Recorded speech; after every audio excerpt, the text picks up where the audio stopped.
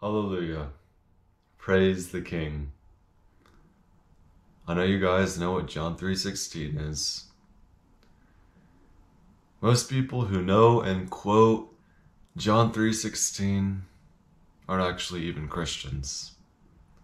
But today we're going to be going over some of the things that the writer of John 3:16 also wrote. The Holy Spirit used John the apostle to write John 3:16. Let's see what else the Holy Spirit God led John to write in the book of John and in his epistles. This is the same guy who wrote John 3:16. For God so loved the world that he sent his one, one and only begotten son that so that whosoever shall believe in him shall not perish but have everlasting life. That verse makes a lot of people feel good, feel comfortable. But let's read what else God leads John to write. 1 John 2 4 says, He who says, I know him, and does not keep his commandments, is a liar, and the truth is not in him. 1 John 2:15 says, "Do not love the world or the things in the world. If anyone loves the world, the love of the Father is not in him." John 15:14, Jesus says here in red letters, "You are my friends if you do whatever I command you." John 14:15 says, "If you love me, keep my commandments."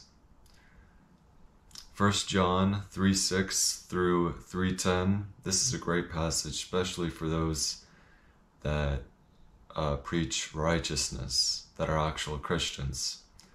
1 John 3 6 through 310 says, Whoever abides in him does not sin. Whoever sins has neither seen him nor known him. Little children, let no one deceive you.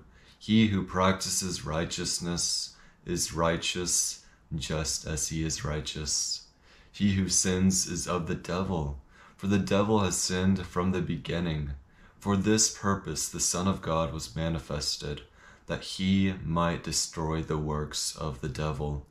Whoever has been born of God does not sin, for his seed remains in him, and he cannot sin because he has been born of God. And this the children of God and the children of the devil are manifest. Whoever does not practice righteousness is not of God, nor is he who, do, who does not love his brother. A lot of people that like to quote John 3:16 what's what they say and what they speak about goes contrary to these verses, these scriptures from God that I've been reading you. Let's continue on. John 3 3. This is the same chapter as John 3:16. John chapter 3 verse 3 says this. Jesus answered and said to him, most, most assuredly I say to you, unless one is born again, he cannot see the kingdom of God. And then four verses later, John 3 7. Remember, this is the same chapter as John 3:16 Do not marvel that I say to you you must be born again. Later in the book of John we uh, we read these verses which I'm about to read to you.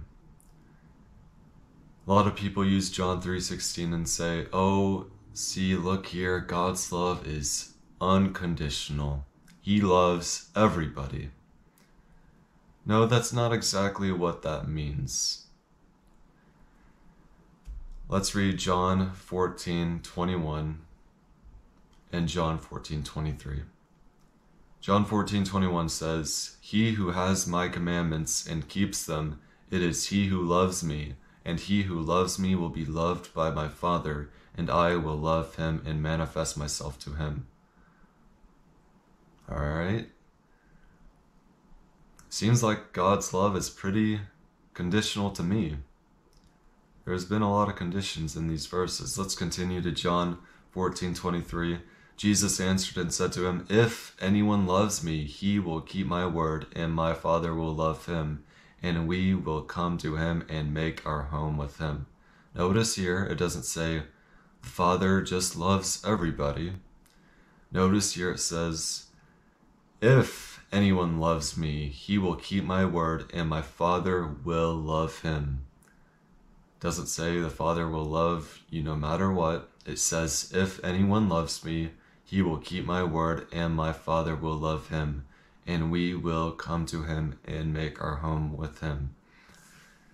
That's what God says. I'd rather listen to God than what a bunch of wicked heathen have to say. The Bible says that your heart is deceitfully wicked. You can't trust in your thoughts and your emotions. You have to have a basis for your life. You gotta go with what God says. You gotta let God be true and every man a liar. If someone goes contrary to the word, you have to go with what the word says. Hallelujah. Praise the eternal King, Yeshua the Messiah, Yahweh. Hallelujah.